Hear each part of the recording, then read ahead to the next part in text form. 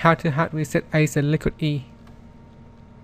When your phone is frozen or you are selling it to someone else, you might want to hard reset it so that all the data on the device can be quickly wiped out clean and all settings will go back to the default factory settings.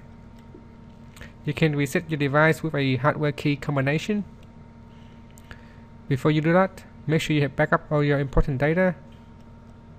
First, switch off the Acer Liquid E then press and hold on the power button until you see the Acer logo.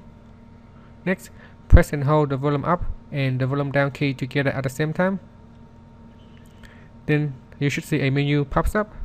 Select clean boot, yes. You can use the volume key um, to make a selection. And finally, you can uh, use the camera key to confirm your choice. Well, you can also reset your device uh, via the settings menu if your phone is not frozen you can uh, use this option.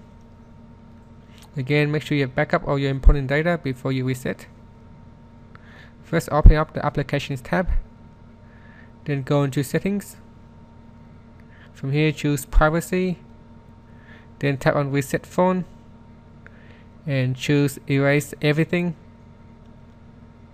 Now just wait for your phone to uh, format itself and uh, erase all the data on the phone